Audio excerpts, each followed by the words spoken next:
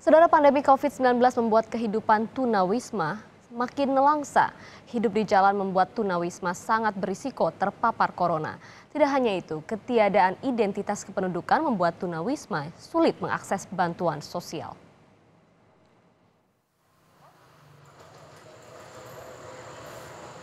Matahari belum menampakkan sinarnya. Rahmat Rahardian, seorang tunawisma di pinggiran rel stasiun Pasar Senen, Jakarta Pusat, masih hanyut dalam mimpi. Berkawan dengan cuaca dan hanya beratapkan langit sudah menjadi bagian hidupnya. Rahmat tidur di atas kasur bekas yang hanya berjarak 2 meter dari rel kereta. Sementara di seberang rel, istri dan dua anaknya tidur di dalam tenda semi permanen. Ukurannya hanya satu kali dua setengah meter. Selama pandemi COVID-19, kekhawatiran Rahmat juga bertambah. Pekerjaannya sebagai pemulung membuatnya sangat beresiko terpapar corona. Jika tertular corona, keluarga ini tidak mampu berobat ke rumah sakit.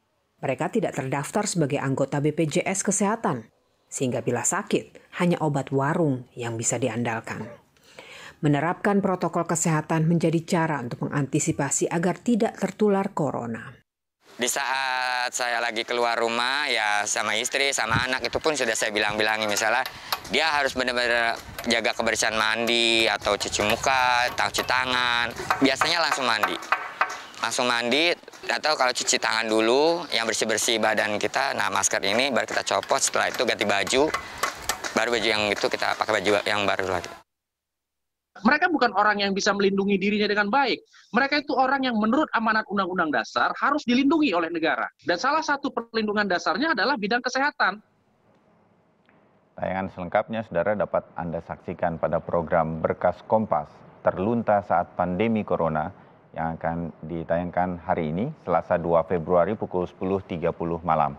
Liputan ini adalah liputan bersama Kompas TV bersama Harian Kompas, kompas.com, dan Kontan bertajuk Suara yang Tak Terdengar.